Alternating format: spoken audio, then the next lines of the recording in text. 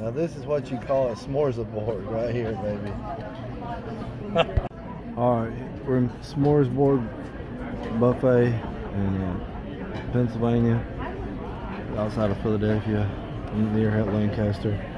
This is a milkshake, donut, whoopie pie, eclair, and this is nacho brew. This right here is six bucks a cup, so and a milkshake right there that pays for a whole meal here. It's about fifteen dollars, I guess.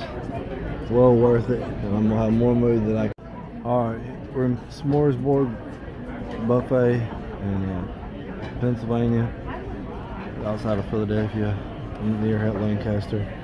This is a milkshake, donut, whoopie pie, eclair, and this is nacho brew. This right here is six bucks a cup, cup so and a milkshake right there that pays for a whole meal here. It's about fifteen dollars, I guess. Well worth it, and I'm gonna have more mood than I can eat. I'm gonna try to eat all this. All right, uh, all day dining. It almost paid for itself. I think it was 26 bucks. Go ahead and take a bite of that cake. Holy crap. Okay.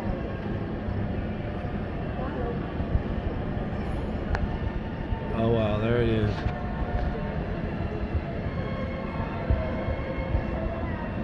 That's rich. oh wow. So I'd say that cake would be ten bucks right there. Oh Maybe- yeah, it's maybe said eight bucks. It's at eight bucks. Okay. So every, every all the food's pretty much about ten bucks a piece, whatever you get. All right. This definitely is. Take a bite of that sandwich. That's a Uh, club. Is that what that is? Turkey club. I believe. Yeah, that's what it is. A turkey club. A bite of that. Okay. It's got a Well- bri- brioche roll. It's big. Very big. Yeah. A lot of crap on it, I'll tell you that. Uh, take a bite of it.